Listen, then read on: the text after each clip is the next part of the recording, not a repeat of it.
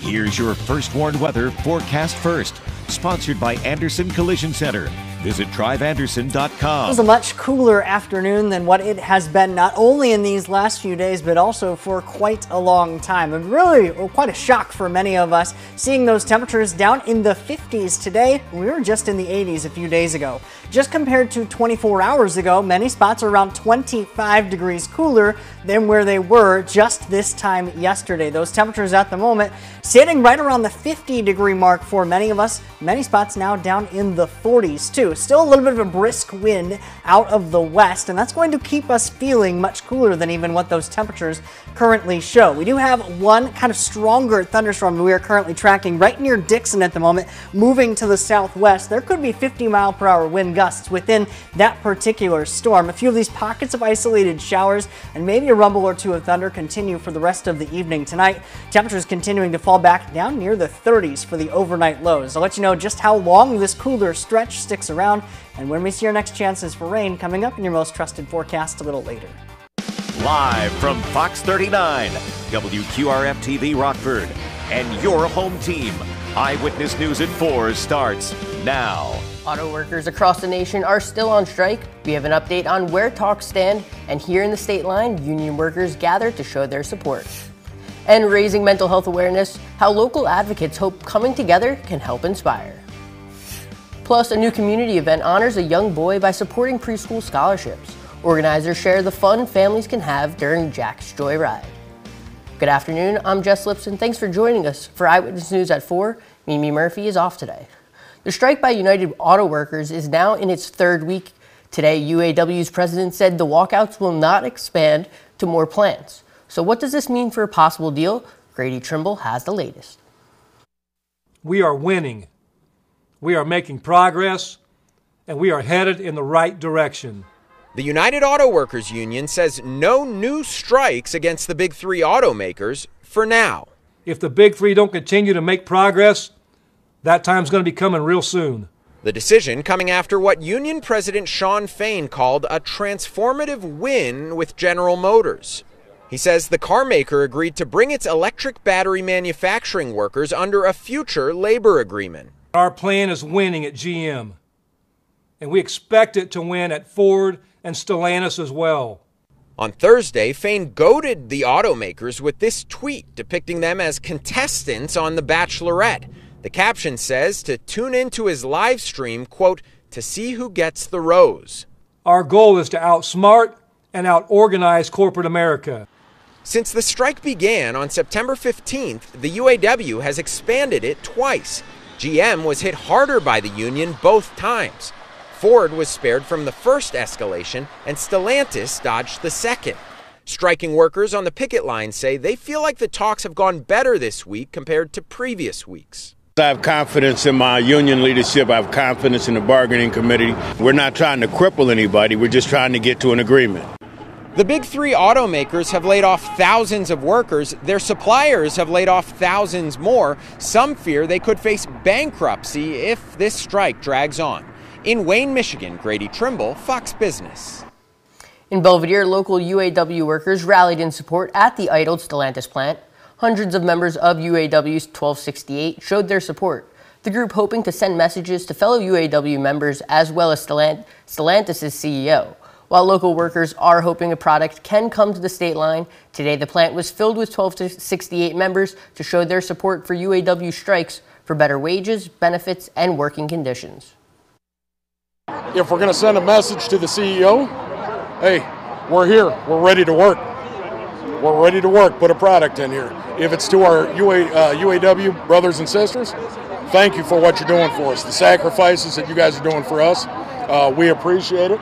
That's why these guys have shown up. UAW 1268 has around 1,200 members. They're scattered all over the country, and hopes our product can come to Belvidere to bring everyone, as Franson says, home. Illinois State are on the search for three suspects after the stolen car they were in hits a trooper's squad car. This happened last night around 10 on Interstate 94 in Cook County. ISP says a trooper tried to pull over the stolen black Dodge Charger. The driver took off.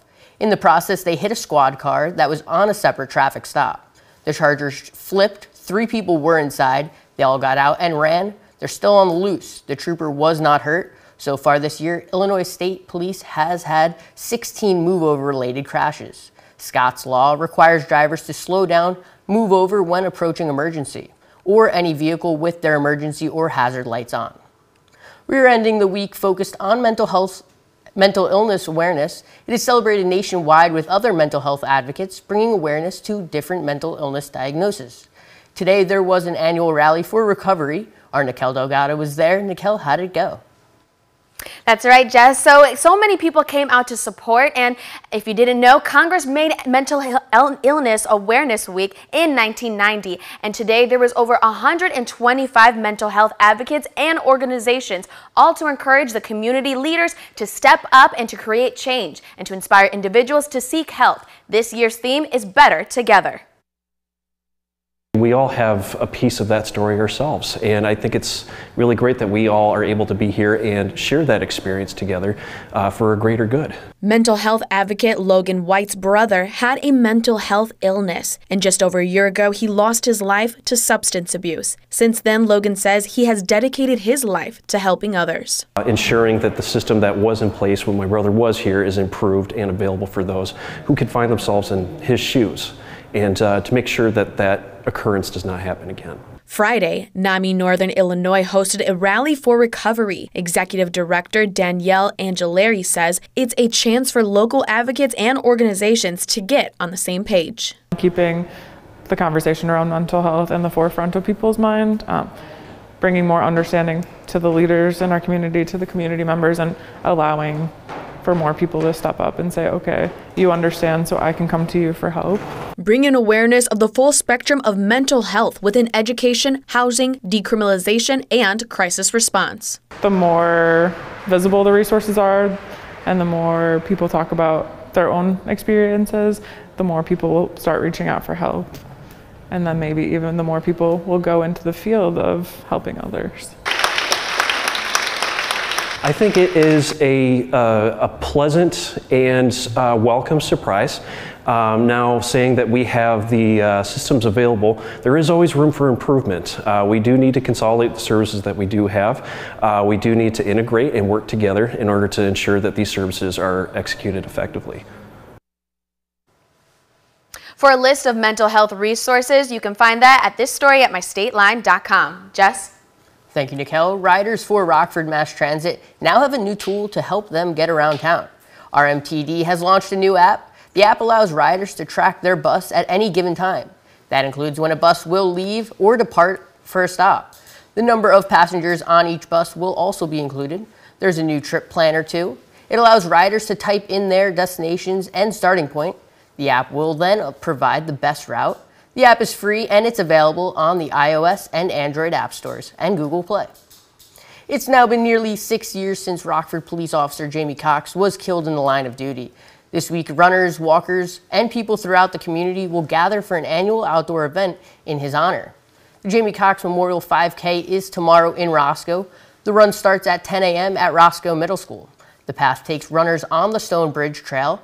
All proceeds from tomorrow's event will go to the Jamie Cox Foundation.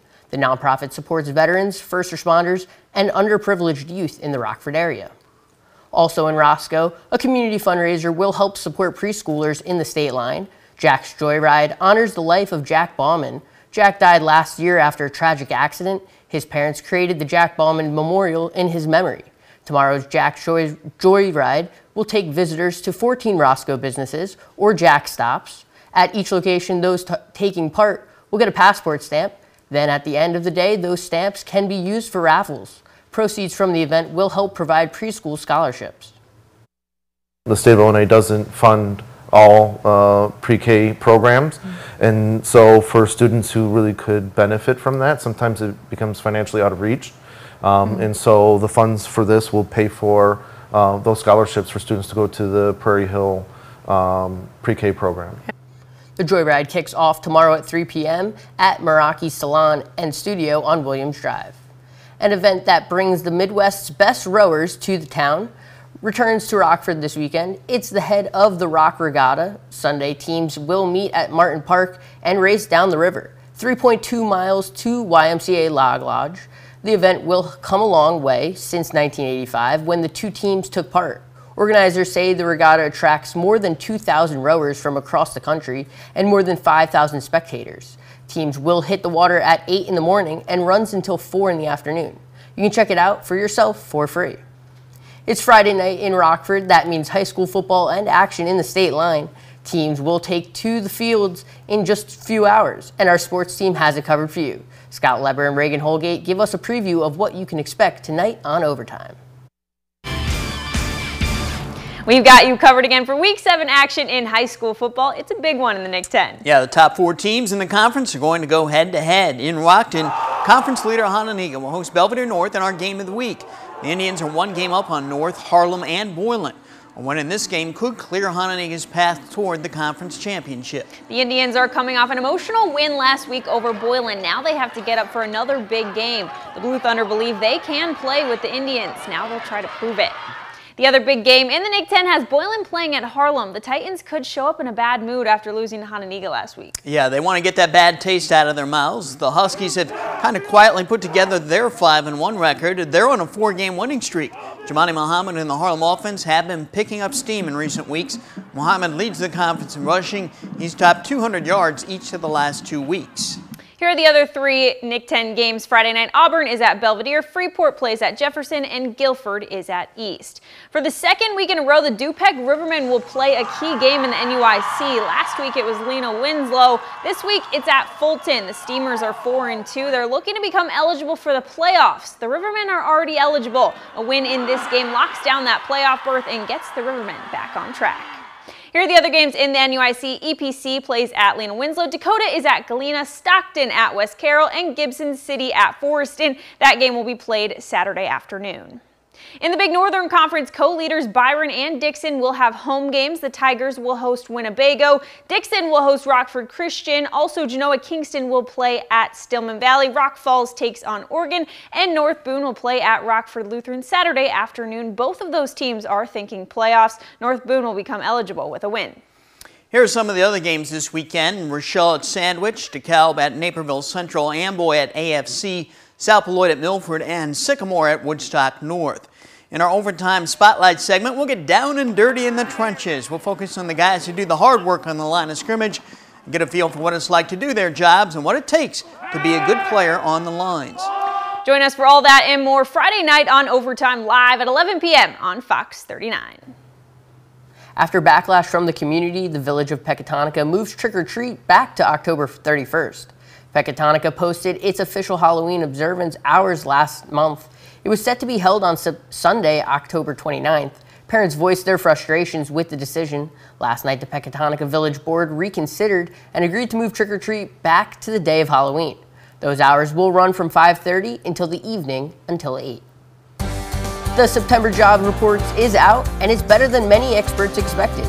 Coming up, the threats that some say still lay ahead for the economy. And former President Donald Trump weighs in on the race for House Speaker. The congressman, he says, he'll get behind. Our temperatures have been much cooler today than what we've been even last week, but also as much as where we were yesterday. Temperatures into the 50s for the large majority of the week ahead. I'll let you know how long it lasts and when we see our potential first frost of the season coming up in just a few minutes. You're watching Eyewitness News, your home team with Mimi Murphy. The labor market is still hot. That's according to the September jobs report. The White House is touting the data as a bright spot for the economy. But it may unwelcome news for the Fed's inflation fight. Our Washington correspondent Raquel Martin reports has the latest.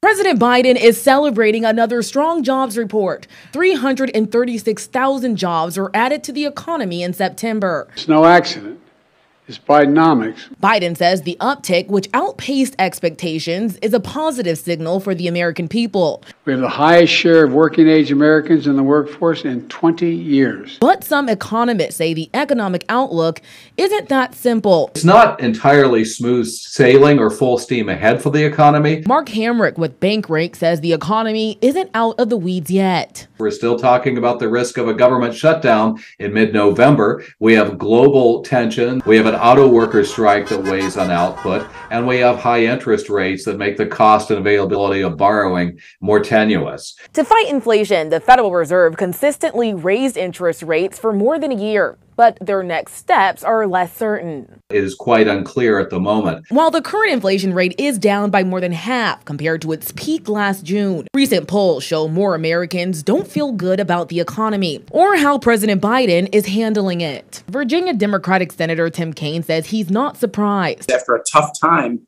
it takes a while for optimism to come back. And we, we went through about as tough of three years as you could imagine with COVID. But believes once new federal investments take hold, the mood will shift. We just have to keep promoting the good things that are happening, like today's jobs report. I mean, in Washington, Raquel Martin. The race to find a new Speaker of the House is ramping up. This after former President Donald Trump announced who he would endorse. Overnight on Truth Social, Trump threw his support behind Ohio Congressman Jim Jordan. Jordan is a close ally of Trump. Republican Congressman Steve Scalise and Kevin Hern say they too are running for Speaker. The House is at a standstill until a Speaker is picked. Jordan argues he believes he can unite the GOP conference. That's the, that's the message I've been talking to my colleagues about is who can, who can bring the eight in, in, into the on, you know, part of the team, who can unite our team. I think I can do that. If I didn't think I could do that, I wouldn't run. Uh, and I also think I can I can take our message to the American people so the so the, the country knows what we're trying to do and what we're and how we're working for them. And, and that's those are the two fundamental questions. Who's better equipped to do that? The house is scheduled to vote on a speaker next wednesday. This year's nobel peace prize is awarded to a jailed iranian activist for women's rights and democracy. 51-year-old Narges Mohammadi has also campaigned against the death penalty She's been arrested more than a dozen times and convicted five times. Her sentence is totaling 31 years in prison. Her current stay behind bars began in 2021 after she attended a memorial for a person killed during nationwide protests. This year's Peace Prize also recognizes the hundreds of thousands of people who, in the preceding year, have demonstrated against the theocratic regime's policies of discrimination and oppression targeting women. Mohammadi is the 19th woman and second Iranian woman to win the Peace Prize. Chicago Bears and football fans are remembering Dick Butkus today. Coming up, we look back on the life and career of the beloved Hall of Fame linebacker. Warn weather forecast from meteorologist Jordan Wolfe. Well, things are much cooler for the afternoon today, today than what we have been even recently. Not only last week, remember just a few days ago we were in the 80s and now many spots are in the 40s, a near 30 degree temperature difference from even just what we had this time yesterday. All thanks to a couple of strong cold fronts and now we still see that stronger northwesterly wind helping to bring our temperatures not only down locally but also across the north central portions of the country. At the moment down in the 50s in many spots across those northern plains. As I mentioned, locally, things much cooler than even where we were just 24 hours ago.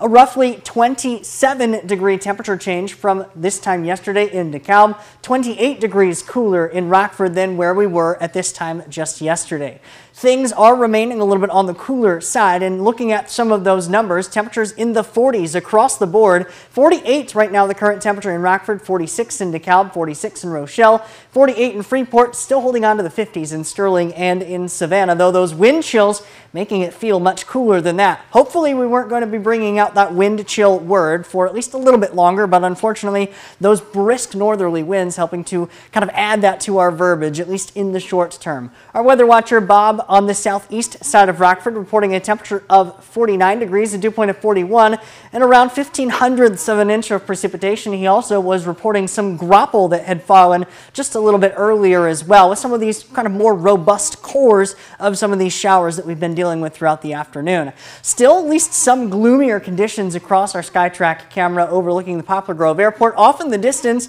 some of those darker colored clouds, and that's kind of where we're going to be seeing with some of these more robust showers that are going on. One in particular that we are keeping an eye on that is actually across portions of Lee County. This one is actually capable of producing 50 mile per hour wind gusts because it's kind of moving in the same distance of our general winds anyways. And so as the this kind of core is kind of moving its way down, kind of pushing some of those winds and that cooler air out. It's actually producing some of those stronger wind gusts, but also because the storm is moving in the general direction of our general, general wind speed as well, with our current winds right around 20 miles per hour. And another 30 added on from that storm can be producing around 50 mile per hour wind gusts. Our weather for the rest of the evening tonight remaining a little bit on the cooler side. 48 degrees for kickoff for our Friday night football games. We are continuing to see a little bit cooler for halftime as well, down to 47. Still holding on to a few of those showers throughout much of the day as well, and some of those cooler wind chills as well. So make sure if you're headed out this evening for any of those games, make sure you grab a couple extra layers. Might even want the hat and gloves for the evening tonight as well. Down to 39 for the overnight low. Isolated showers and potentially even a storm early on, but things continuing to clear out. Unfortunately, that clearing does lead to temperatures falling a little bit on the quicker side, so down to 39 degrees for the overnight low. We only return back up to 57 for the day tomorrow, partly cloudy skies, a fairly brisk wind still out of the northwest around 5 to 15 miles per hour, potentially gusting around close to 20, a little bit lower than where we were today. This is kind of what we're going to be seeing with our overall pattern, this cooler wind helping to be brought in by a strong trough in the upper levels of the atmosphere. That trough going to stick around in the Great Lakes area as it kind of interacts with Tropical Storm Philippe. It's going to be making its way up the coast. That's going to help continue to strengthen it for just a little bit longer, and that's what's going to keep us feeling a little bit on the cooler side. Another system going to be breaking its way in for the middle to end of the week, going to eventually bring us some slightly warmer weather in the short term, but then we do get some of those showers that start to work their way back in beyond that. So putting this all together with Futurecast, we're going to see a few of those isolated showers throughout the rest of the early part of the evening, but clearing skies for the overnight back down into the 50s for our overnight, or in the 30s for our overnight lows, into the 50s again tomorrow. A few isolated showers cannot be ruled out for your Sunday, but that cooler weather is sticking with us in the short term as well. And we could see even our first frost of the season. Normal frosts, not too far away from this current time as well with some of those overnight lows and those clear skies and light winds early in the week. I do think that we could potentially see our first frost of the season potentially as we get into Sunday night, Monday night, maybe even Tuesday night. 50s for our afternoon highs, at least going forward for the early part of the week. A few isolated showers possible on Sunday, and then our next chances for rain with slightly warmer temperatures just as we get into the end of the week. Thanks, Jordan. An iconic horror franchise gets a new chapter. Coming up, Dean Richards offers his review of the latest Exorcist sequel. But first, as we go to break, here's Michelle Abraham with a look at what's on, what's coming up on Good Day State Line. Hey, it's Michelle. Tonight on Good Day State Line, we're highlighting Breast Cancer Awareness Month with Gina Meeks, and we're telling you about the Rock River Valley Video Game Convention too. Plus, Tamanique has a new Tam on the Town to get you ready for Halloween. We'll see at 5:30 and 11:30 on Fox 39. The parade of pre-Halloween scary movies continues. This week, it's a sequel to a classic. Dean Richards offers up his take on The Exorcist: The Believer. Wherever those girls went, they brought something back with them. I believe you can help get our daughters back. She knows who I am. Where's the other girl? There's something about the conjuring of evil in a horror movie, or even worse, the possession of an innocent soul by Satan, that makes it extra scary and profoundly disturbing. I guess it raises too many questions and fears about the principles of good and evil that most of us were taught from childhood. That may be why the original Exorcist from 1973 was so upsetting when then a 12 year old Regan, played by Linda Blair, twisted and turned and spewed the evil as we had never seen before. Blair and Ellen Burstyn, who played her mother, were nominated for Oscars for their landmark roles.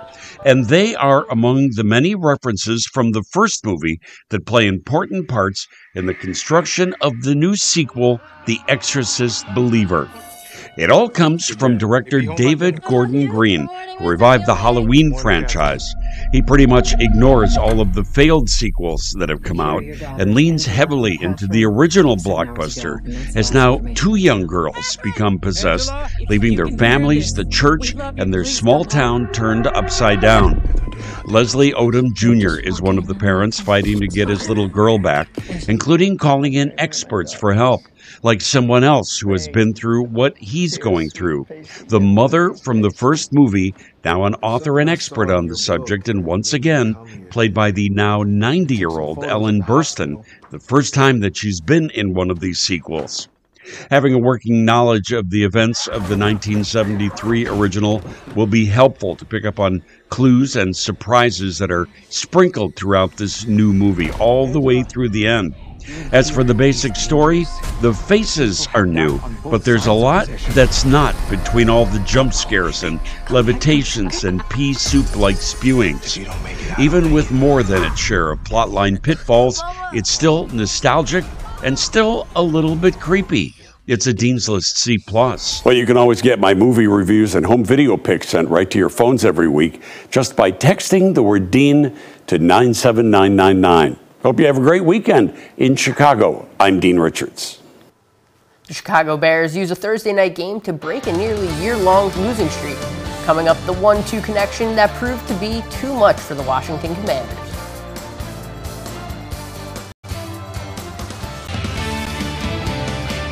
After nearly a year, the Chicago Bears are back in the win column. The Bears took on the Washington Commanders last night in our nation's capital.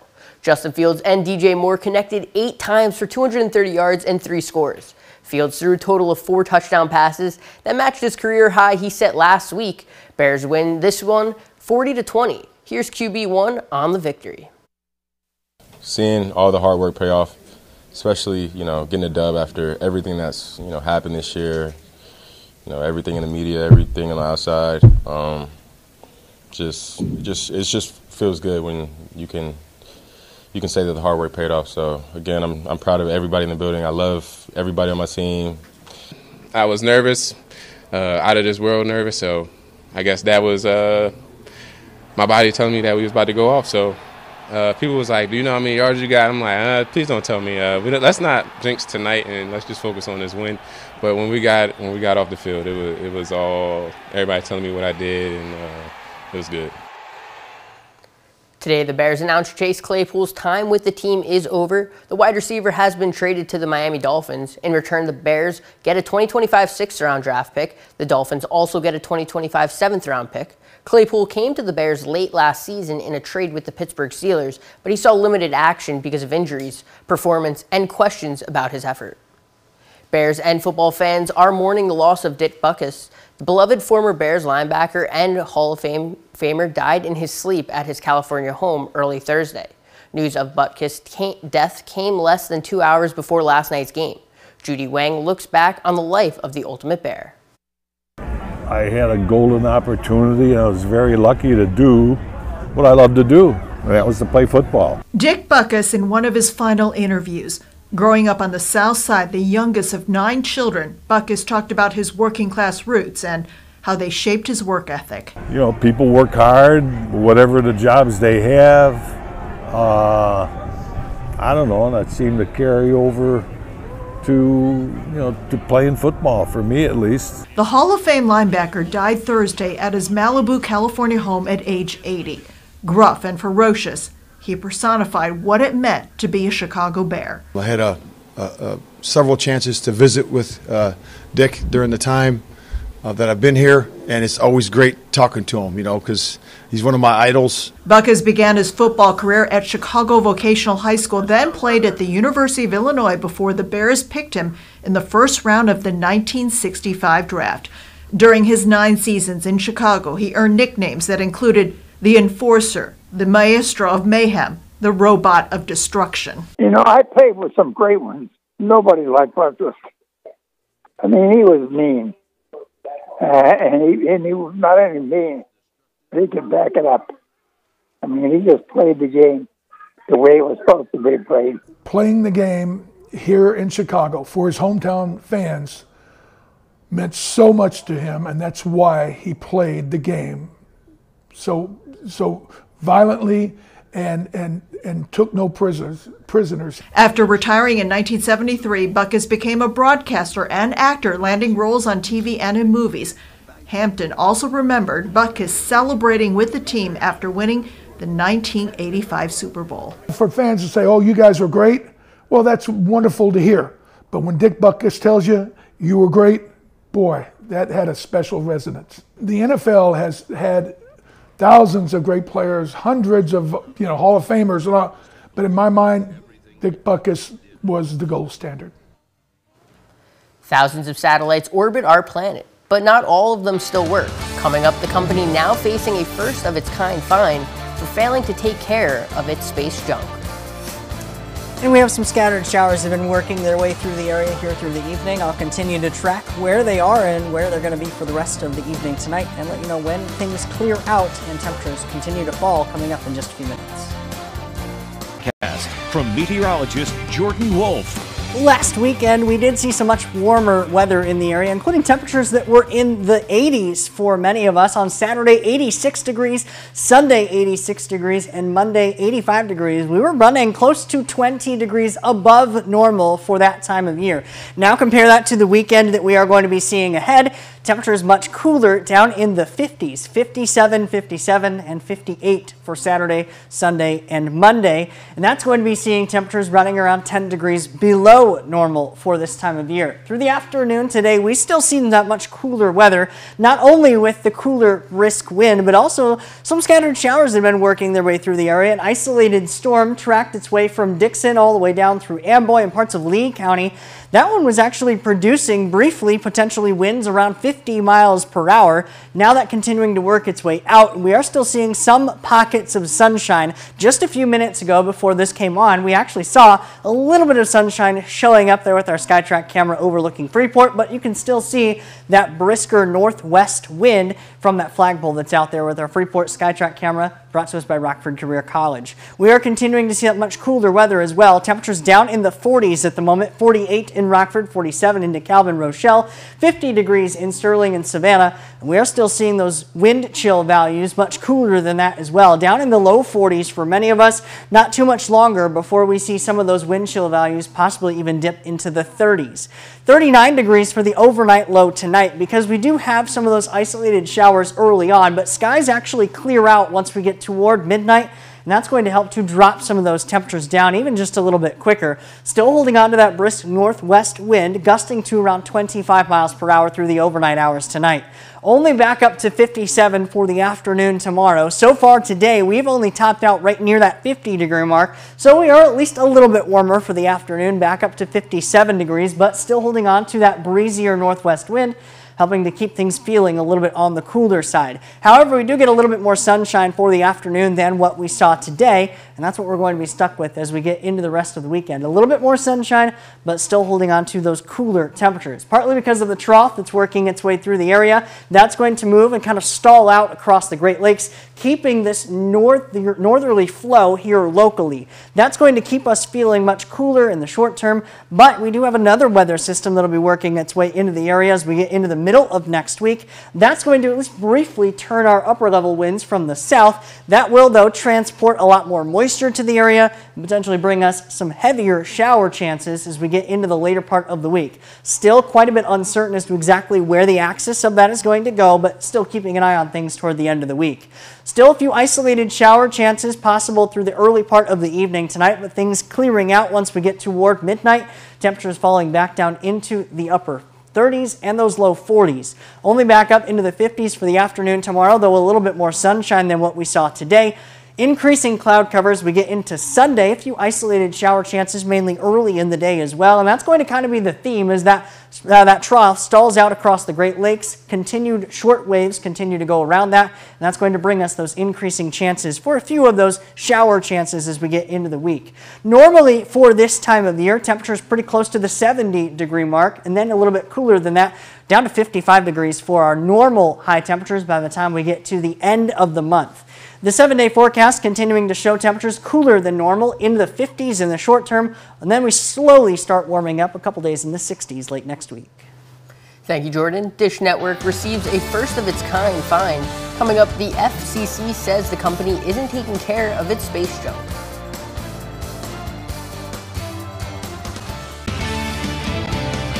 The federal government is cracking down on interstellar litter bugs. Dish Network has been hit with a $150,000 fine. The FCC says the satellite provider added to the growing collection of space junk orbiting the planet. Eben Brown explains. Remember being taught that littering was bad? In the city or in the woods, help keep America looking good. But what happens if you dump your junk in outer space? While local police might give you a ticket for littering in the park, the Federal Communications Commission is now able to levy astronomical fines against those who don't pitch in while out of this world. The FCC is slapping Dish Network with a $150,000 fine for failing to properly dispose of one of their TV satellites, adding to the already dangerous level of so called space junk orbiting the planet. The satellite satellite called EchoStar 7 was supposed to have been put into what is called a disposal orbit, an out of the way corner of space serving as a sort of interstellar junkyard. But it ran out of fuel and ended up causing concerns for space navigation. And that's been a new area of focus for the FCC, which is making a big push to tackle the growing amount of space junk floating around up there. The agency calls the Dish Network fine a quote, breakthrough settlement, hoping it will discourage other would be space litter bugs from clogging our solar system with debris. It becomes that much more important that we understand where things are so that we can create the highways and byways, if you will, to have a safe experience for everyone doing business in space. Right now, there are about 35,000 pieces of orbital debris up there being tracked by space surveillance systems here on Earth. In Miami, Eben Brown, Fox News. A final look at weather when we return. To show a few of those isolated showers as we get into the rest of the evening tonight. Some of that lighter rain that we had earlier on now continuing to work its way out, but isolated shower chances cannot be ruled out throughout much of the evening going into the overnight hours. Clear skies, however, returning to the area, temperatures falling back down into the 30s for the overnight lows tonight. We do stay in the 50s for many of our afternoons going forward. Thank you, Jordan. Have a great weekend.